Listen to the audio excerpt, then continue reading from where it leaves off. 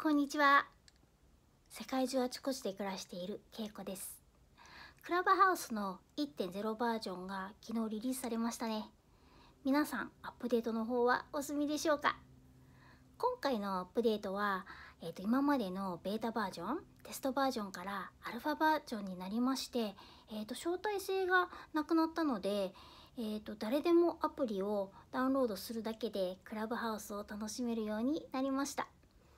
2ヶ月ぐらい前から創業者のローハンたちが、えーと、招待制は近いうちなくしたいって言ってたんですけども案外早く招待制なくなってしまいましたね。そして昨日からアメリカ人やインド人のクラッカーマークをつけて入ってきたばかりの方大勢お見かけしてます。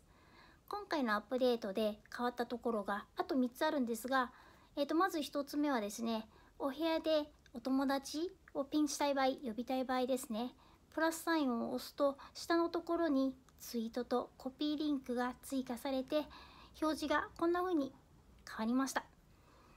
あと,、えーと、今までそれに伴ってですねクラブでお部屋を立ち上げた場合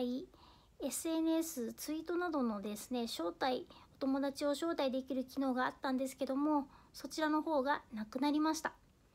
で3つ目変わった点がですねアイコンの左下のところに好きな国の国旗が入れられるようになりました。これはオリンピックなので応援している国をアイコンにつけられるようにしたそうなんですが出身国とか今住んでいる国なんかにも使えますよね。えーと、この国旗の表示の仕方ですが私のようにプロフィールに複数国旗を入れている場合は自動的に一番最初に出てくる国旗が左下のところに自動的に出てきます。まだ国旗をプロフィールに入れてないっていう方はですね、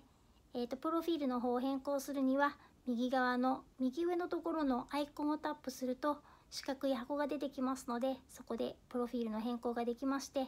きなところどこでもいいので国旗を入れてみてください。